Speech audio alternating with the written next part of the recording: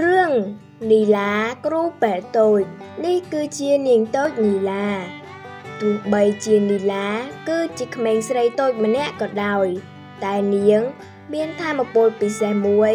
គឺនាងអាចព្យាបាលសត្វដែលឈឺឲ្យជាឡើងវិញបាន ពេលនេះអ្នកជំងឺរបស់នាង គឺជាសត្វខ្លាឃ្មុំដ៏គួរឲ្យស្រឡាញ់មួយក្បាលនីឡា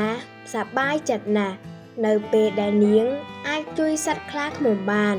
ឥឡូវនេះវាអាចដើរបានវិញហើយនាងនិយាយលីវាដែលផ្ដាំវាថាកុំភ្លេចផឹកទឹកថ្នាំផងណាអូទេតើមានអ្វីកើតឡើងចំពោះស្បែករបស់នីឡា នាងត្រូវធ្វើថ្នាំពិសេសម្យ៉ាង ដើម្បីព្យាបាលស្បែករបស់នាងប៉ុន្តែគ្មានសល់ស្លឹកឈើសម្រាប់ធ្វើថ្នាំទៀតទេ ស្លឹកឈើទាំងនោះត្រូវចូលទៅក្នុងព្រៃជ្រៅទើបអាចរកបាន ហេតុនេះលីឡាក៏ចេញទៅរកថ្នាំគ្មានអ្វីអាចបញ្ឈប់នាងបានទេ ទីបំផុត នាងក៏រកឃើញស្លឹកថ្នាំទាំងនោះលីឡាបេះវាដាក់ក្នុងថង់ក្រណាត់របស់នាង ពេលនេះនាងបេះរួចរាល់ហើយ អាចទៅផ្ទះដើម្បីធ្វើថ្នាំសម្រាប់ព្យាបាលស្បែករបស់នាងប៉ុន្តែអេតើឯងកើតអ្វីមែនទេសត្វស្វាហើយអ្វីបានជាឯងអេះខ្លួនមិនឈប់អីចឹង អូតាមពិតវាមានរបួសទៅតើនីឡាបានយកស្លឹកថ្នាំរបស់នាងទៅព្យាបាលសត្វស្វានីឡាបានប្រាប់ទៅកាន់សត្វស្វាថាឯងកុំអេះវាទៀតដឹងទេអស់ចាមែនបាក់សីអេកូនោះស្អាតណាស់ប៉ុន្តែហេតុអ្វីបានជាវាឈរស្ងៀមអញ្ចឹង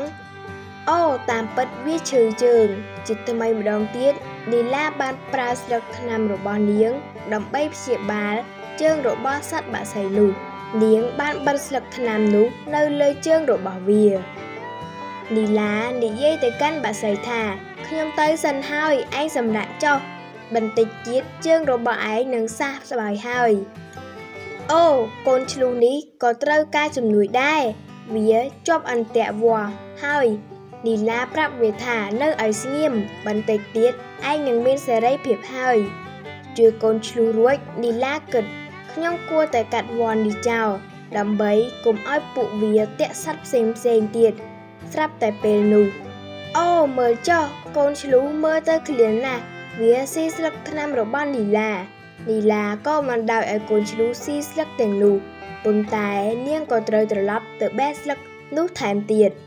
ស្វាឃើញនាងដើរចូលទៅក្នុងព្រៃជ្រៅវិញ វាក៏សួរហេតុអ្វីបានជាឯងត្រឡប់មកវិញនីឡាឆ្លើយថា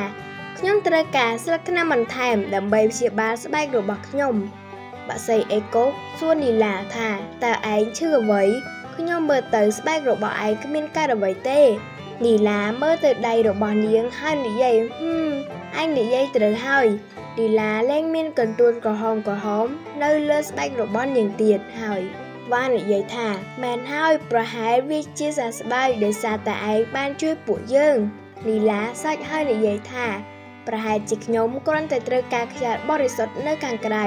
ហើយនឹងការហាត់ប្រាណខ្លះប៉ុន្តែនីឡានៅតែត្រូវការស្លឹកឈើដើម្បីធ្វើថ្នាំទុកនៅពេលក្រោយទៀតស្វាក៏និយាយឡើងមកថាឯងបានជួយពួកយើងពេលនេះខ្ញុំនឹងទៅជាមួយឯងហើយជួយបេះស្លឹកថ្នាំជាមួយគ្នា ហើយពួកគេទាំងពីរក៏ដើរចូលទៅក្នុងព្រៃជ្រៅចប់ សូមបងប្អូនកុំភ្លេចជួយ like share subscribe នៅលើ channel នាងខ្ញុំម្នាក់មួយផង សូមអរគុណ